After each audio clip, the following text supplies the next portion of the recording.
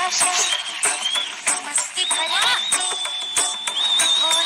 Bharatnatyam step on Choti Si Asha, it was so beautiful, I can't tell you.